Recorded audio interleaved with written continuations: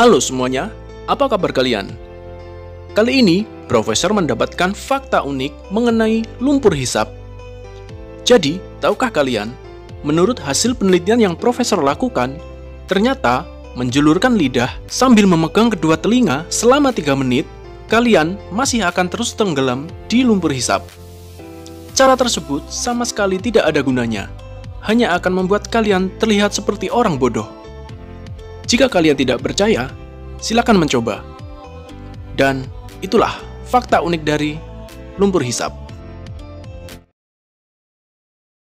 Goblok!